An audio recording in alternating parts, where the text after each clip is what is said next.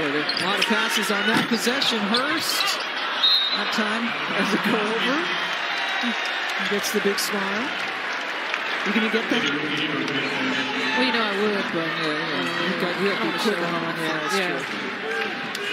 Have to get on wired and everything. they might have to get that after the game when they bring the bring the basket down. Yeah, Kelly Graves said he's going to do Oh, it. He's like, go. I got it for you. Oh, Oh, first try.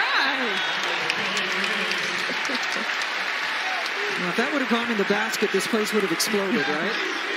He's, he's MVP. got some skills. The student section behind us starts yelling MVP for Coach Graves. Big smiles for everyone. Up 24.